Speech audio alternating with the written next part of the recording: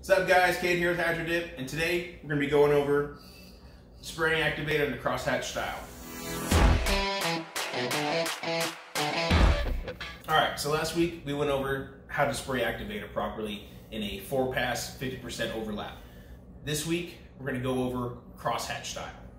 Crosshatch style spraying is the method of spraying your activator in both a horizontal route and vertical, uh, very similar to a tic-tac-toe board.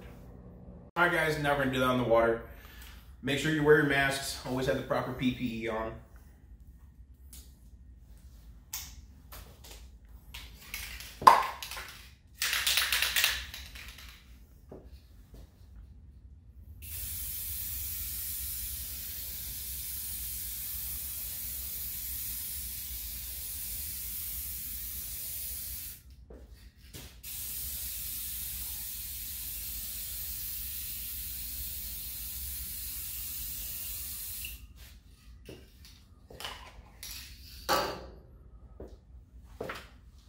Now we're gonna go live on some film.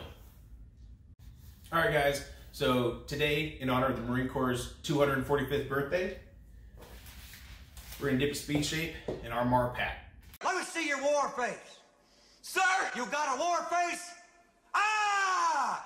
That's a war face. Now let me see your war face. Ah!